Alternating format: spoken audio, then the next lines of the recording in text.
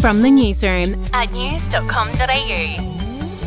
Hi there, I'm Andrew Bucklow, and this is the latest from the newsroom. It's Friday, the 4th of March. We'll start with some sad news. Australian cricket legend Rod Marsh has died aged 74. He passed away in an Adelaide hospital after he suffered a heart attack last week in Bundaberg. In other news, it's been confirmed former NRL star Jarryd Hayne will face a third sexual assault trial. Haynes served nine months in prison after he was found guilty of sexually assaulting a woman at her home in 2018.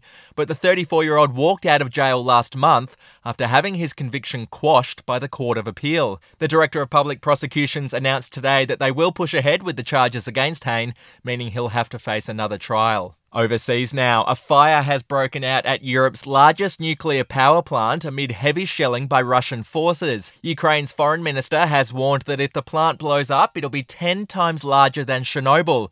He's called on Russian troops to stop attacking the plant immediately. To sport now, Novak Djokovic looks set to defend his French Open crown in May.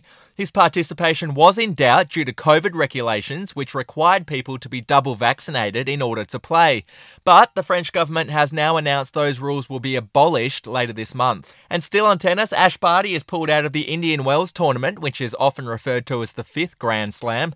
The world number one said her body hasn't recovered the way she'd hoped after the Australian Australian Open. Well, there's been more heartache for Lisa Curry. The former Olympian announced today that her mum had passed away. It comes less than two years after Lisa's daughter, Jaimi, passed away at the age of 33. And finally, another celebrity is set to go into space.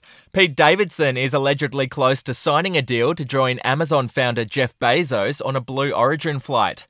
The comedian and the billionaire hit it off when they met for dinner in January with their respective partners, Kim Kardashian and Lauren Sanchez. Now, for your footy fan, make sure you enter news.com.au's AFL and NRL tipping comps with $5,000 up for grabs in each code. You can find out more at news.com.au forward slash win.